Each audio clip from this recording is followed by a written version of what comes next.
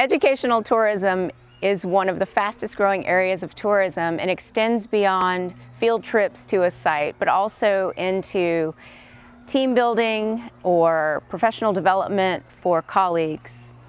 And even those self-actualization experiences that people experience individually or with family and friends while visiting a site.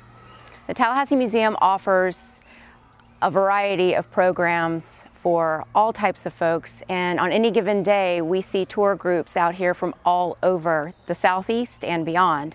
Today in fact we have three groups out here. This week we have five groups out here from beyond the Big Bend region and for the month of April we have a total of over 23 groups coming out here. So um, Visit Florida has a huge impact on the visitation of the Tallahassee Museum and it allows for us to make that $11.7 million economic impact that we make for our area.